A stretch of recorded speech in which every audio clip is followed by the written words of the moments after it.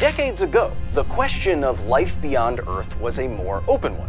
We knew that there were billions and billions of stars in our galaxy, but not how many of those stars had planets. Today, the odds are much more in aliens' favor. We know that most stars have planets, and that in addition to the billions and billions of stars in the Milky Way galaxy, there are billions and billions of galaxies. And so, just through the math alone, even if the chances of life arising outside of Earth were worse than any lottery in history, that still means billions of planets with life on it. This, I think, means that it's more likely than not that alien life does exist. But has that life visited Earth? The chances of that, I think, are pretty much zero. Now entering the facility.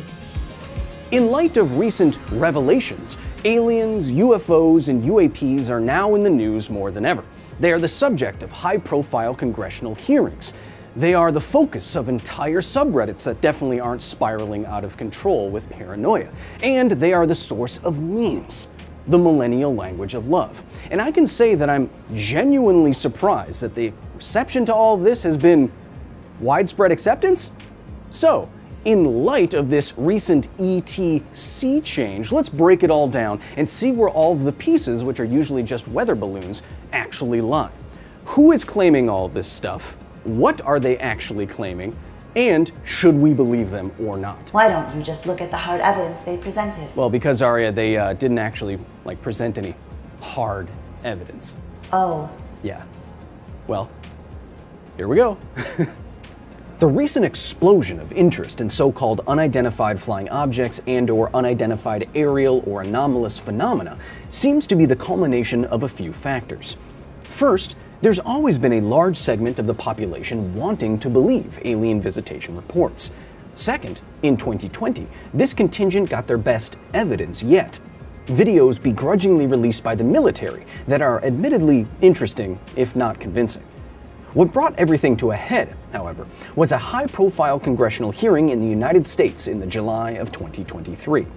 During this hearing, a one Mr. David Grusch, a former U.S. intelligence official, not only more or less affirmed everything that's ever been said about alien visitation, but he also revealed new stories of secret technologies, non human bodies, and cover ups by the Pope.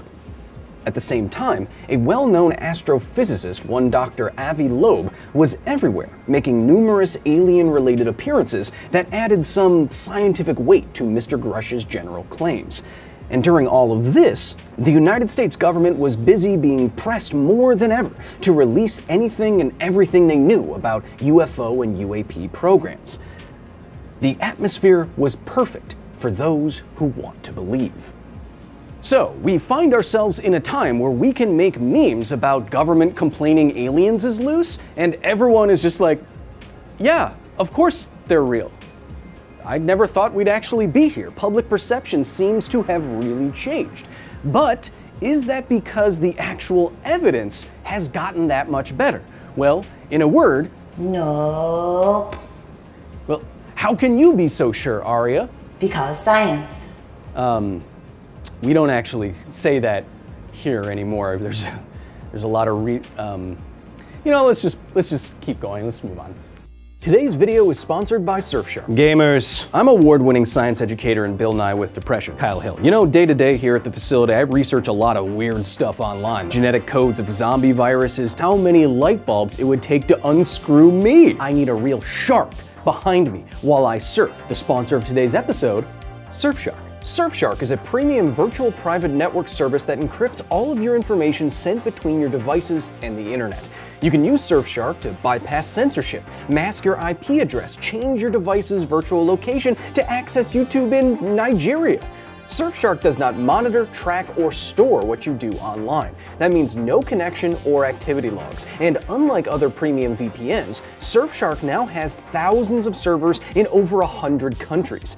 Be secure on the majority of the Earth's surface. Use the offer code KYLE for three extra months free, you're welcome. There's a money back guarantee, and you get an unlimited number of devices on just one account. While you're surfing, protect your turf. Surfshark. Just how good is this new evidence that Mr. Grusch and others are presenting to the public? Well, I know I'm going to be a buzzkill here. Buzz Hill. Nice. But first and foremost, anecdotes are not data. You can't just say you heard someone say something to another someone that is also secret about civilization changing technology if you want people to believe you. No, it's better to show it. Like this. The first thing any scientist or investigator worth their salt would point out about the hard hitting testimony is that everything Mr. Grusch claimed, from cover ups to crafts to non human craniums, was secondhand. He didn't see anything himself, nor did he present any physical evidence at his hearing. Take as a comparison what real whistleblower Edward Snowden did. He presented actual evidence of global surveillance programs and conspiracies and instantly changed the world.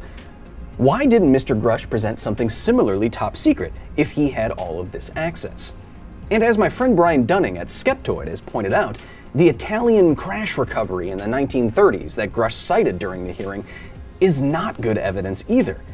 It's directly traceable to a hoax sent to newspapers in the late 90s. Though being a United States Air Force officer and former intelligence official does make Mr. Grusch more qualified than most, we know from decades of psychological studies that anecdotes and eyewitness testimony, even from experts, is the lowest form of evidence there is, the weakest foundation for any claim. Think about all of this like a scientist. It does not matter who says something, it has to be tested and verified like everything else. This democratization of discovery is, in fact, the beauty of science. So, unfortunately, no, we are not obligated to take any of Mr. Grusch's stories seriously, no matter who he heard them from, no matter how many people said similar things, allegedly, without tangible evidence. Evidence that could be as easy as just a Snowden style PowerPoint. I would say the exact same thing even if it were Carl Sagan testifying.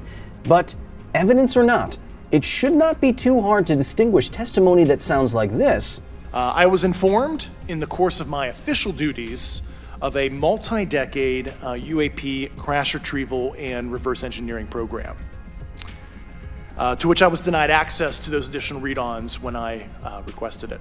From testimony that is also based on expert opinion, but is far more convincing. Watch Nobel Prize winner Richard Feynman physically demonstrate the relatively simple cause behind one of America's greatest tragedies. Oh, I took the stuff that I got out of your seal and I put it in ice water. And I discovered that when you put some pressure on it for a while and then undo it, it maintains, it doesn't stretch back, it stays the same dimension. In other words, for a few seconds at least, and more seconds than that, there's no resilience in this particular material when it's at a temperature of 32 degrees. I believe that has some significance for our problem. But Carl, I hear you saying, what about those weirdly compelling videos released by the military? Do you think about that? Well, first of all, fun voice, keep doing it no notes. Second of all, science writer and co founder of the video game studio that makes Tony Hawk's Pro Skater, Mick West, has pointed out that all of these so called Tic Tac videos are much better explained as anything else terrestrial. They are gimbal weirdness from the equipment, they are IR plumes of distant engines on other aircraft, they are parallaxed balloons. Look, I'll give you a little rule of thumb here. If anyone ever says that they saw something break the laws of physics, no, they did not. They are mistaken. You're telling me that it takes ancient sunlight gravitationally lensed around the moon during an eclipse to get people to finally accept all of Einstein's theories, but just a grainy video that's explained by some weird equipment thing to disprove all of Einstein's theories? Yeah, right. You're better than that. But Kyle, this is all just what the government wants you to think. Actually, no, Arya. I think it's the opposite of that. Oh, and no, we didn't see actual alien corpses in front of Mexican Congress. Even the guy who helped put all that together thought that that was super duper cringe. I mean, I mean, come on.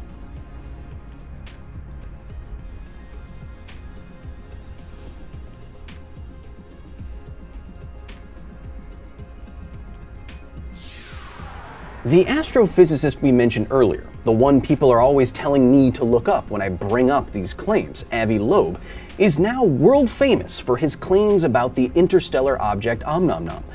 He flirts with the idea that it's an alien spacecraft, which in turn lends tangential legitimacy to Grusch and others' claims. The UFO community loves to point out how the government and other shady individuals are incentivized to keep alien conspiracies secret, but they somehow fail to see how they are very incentivized to keep alien conspiracies going, despite the lack of any good evidence. Case in point, Dr. Loeb's alien musings have made him a world famous astrophysicist late in his career. He's paid to speak about aliens. He's paid to write books about aliens. He's now appeared on TV thousands of times to talk about aliens. He's been paid millions of dollars in funding to entertain ideas that are unscientific at best. Money and fame are very strong incentives to believe in bad evidence. Loeb's academic colleagues think that he is now so far gone, in fact, that they show him to their students as an example of how not to do science. In other words, this new UFO UAP narrative is not what the government and the deep state are desperately trying to keep from you. No, it's what the UFO community needs to be true to stay a community, to keep their identity. It's what they want to be true. Look, I started off my career covering the conspiracy community. I saw firsthand how even just the tiniest bit of fame and fortune can make otherwise very smart people believe very unsmart things, like that my haircut looked good. Do you know what Dr. Loeb counters with now when he's challenged on his unscientific ideas? Apparently he says, quote, extraordinary claims require extraordinary funding. Ew. I'm honestly glad that Carl Sagan is not around today to hear this bastardization of one of science's highest tenets. So, if all of these UFOs and UAPs aren't aliens, what are they? Well, we actually have studies on this. The vast majority of them are fully explainable, removing the U from those acronyms entirely.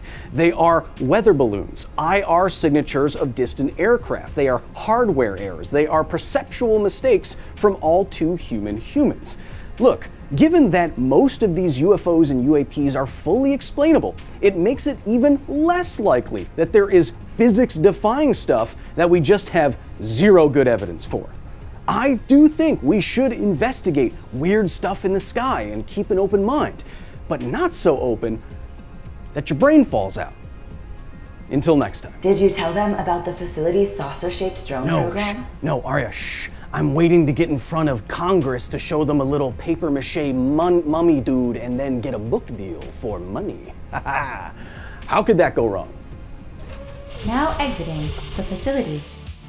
Thank you so much to the very nerdy staff here at the facility for their direct and substantial support in the creation of this here video. If you want to join us here for UFO investigating, if you want a silky white lab coat to watch videos early, to get into our private Discord, to see private live streams with yours truly once a month, patreon.com slash Kyle Hill. And if you support us just enough, you get your name on Aria here in every single video. Lucky you!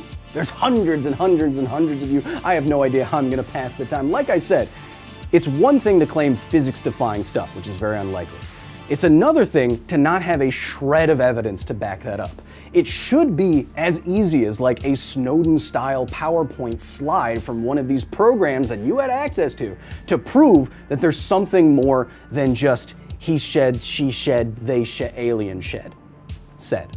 You know what I mean? It should be as easy as showing a piece of that artifact or craft you're talking about and showing an analysis, a spectroscopic analysis that says, oh, it has an element here that's never been discovered before and it's definitely synthetic. And when you put it near humans, it does weird stuff. Anything, anything would be good.